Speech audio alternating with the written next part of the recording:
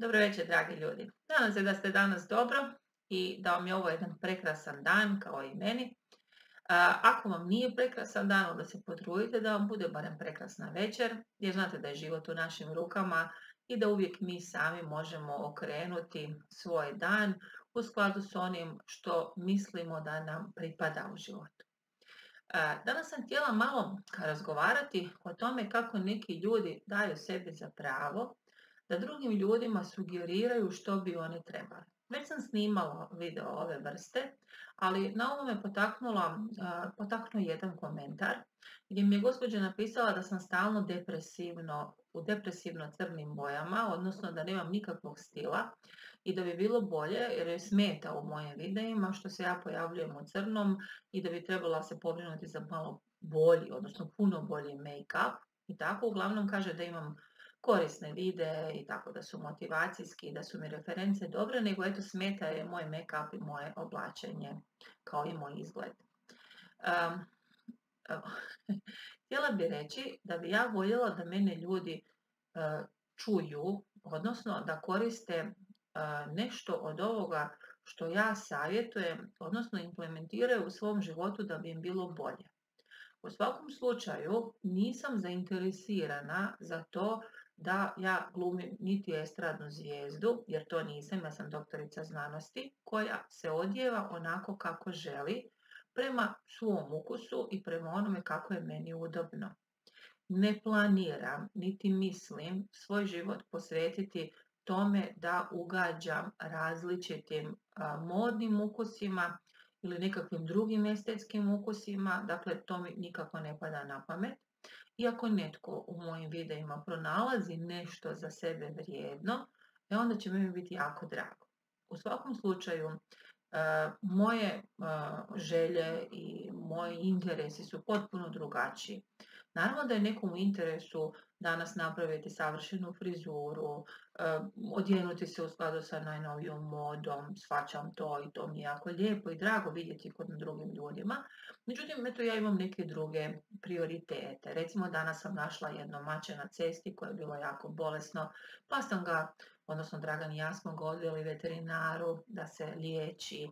Pa recimo to su moji prioriteti. Pa sam radila s ljudima na konzultacijama i evo još imam dvoje konzultacije, a sada je skoro 20 sati.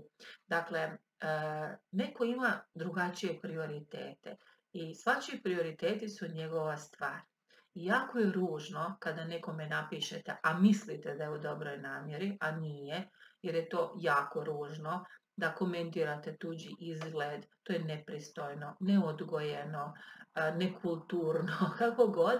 Dakle, komentirati tuđi izgled, a kao zapakirati to u mašnicu s celofanom, odnosno zapakirati to u neku svečanu vrećicu. To niti je lijepo, niti je pristojno i takve komentare zapravo želim podijeliti s vama ne zbog toga što sam se uvrijedila, nego zbog toga da znate da ne dajete u svom životu ljudima koji takve stvari rade prostora uopće. Ja ovo ovdje radim da bi vam pokazala da zapravo ste svi posebni i jedinstveni i da imate pravo biti ta neka najbolja verzija sebe, ali u skladu s tim da vi se trebate osjećati dobro u svojoj koži, u skladu s onim što vama odgovara i da trebate raditi one stvari koje vama odgovaraju, a ne prema tome kako vas vidi netko drugi i kako netko drugi smatra da biste vi trebali izgledati.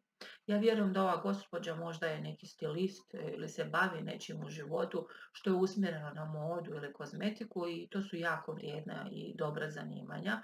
I meni se jako sviđaju jer su kreativna, ali u svakom slučaju ne trebam njene usluge, ne želim ništa od ljudi koji daju savjete koji su i tekako obojeni nekakvom notom drskosti.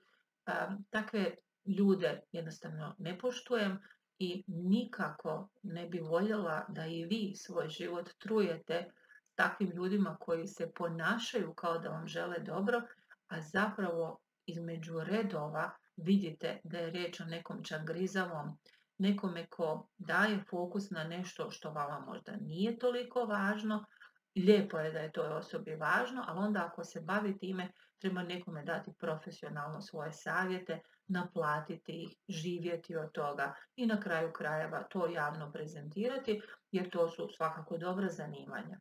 Uglavnom, puni svijet takvih ljudi koji traže dlaku u jajetu, jer im se ne sviđa nečija frizura, jer im neko ružno nosi nešto na sebi. Ja sam jako zadovoljna sa svojom odjećom.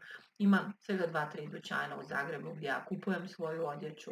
Moja odjeća je poprilično skupa, vjerovala li ova gospođa ili ne. Ja uživam u tome jer je jako udobna. Imam specifičan stil. Gospođa kaže da sam potpuno bez stila evo, neko ovo što ja nosim smatra jako lijepim. Puno puta dobijem komplimente za izbor svoje odjeće, za svoje torbe, za svoje cipele.